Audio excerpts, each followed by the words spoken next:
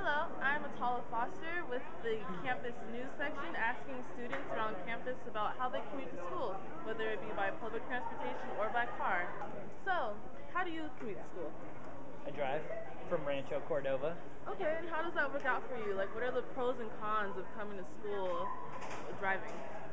Well, I get to come and leave as I choose, so there's a lot of freedom in that. The cons, parking, it's $150 for a parking pass.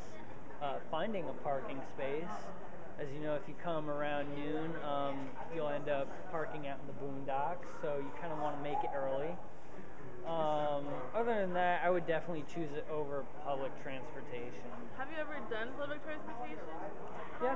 How did that work out for you? Um, I haven't done it to this campus in specific, so I, I, I can't say I have that experience. But I mean, for me, it's just coming and going as I please.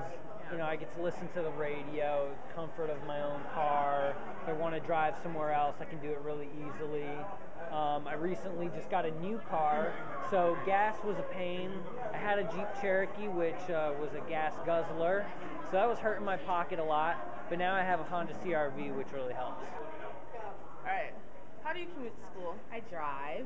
And how does that work out for you? Like, what are like the pros and cons of driving to school? Um, the pros, I get to sleep in. and the cons, I waste gas money and have to buy a parking permit every semester. That's a lot of money. Mm-hmm. Yeah. Ha- have you tried uh, public transportation at all? Yeah, I did the bus thing, but like I said, I like to sleep in. So that really doesn't work. Besides sleeping in, uh, what are some other like aspects of uh, public transportation, like the pros and cons of that, maybe? Public transportation is Yeah. free because we get the little bus pass from school, so it's free and that's about it. uh, how do you transport to school every day?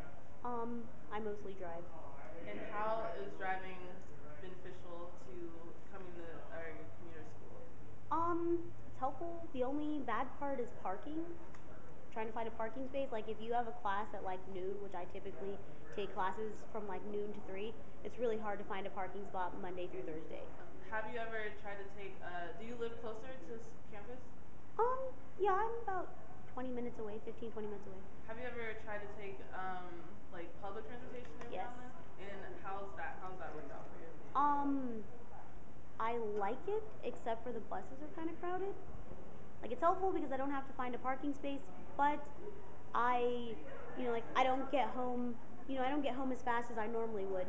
If I drive, you know, it takes like 15, 20 minutes to get home. If I take the bus, I might not get home for 45 minutes to an hour. Do you know what are the pros and cons you could think of that could come with public transportation?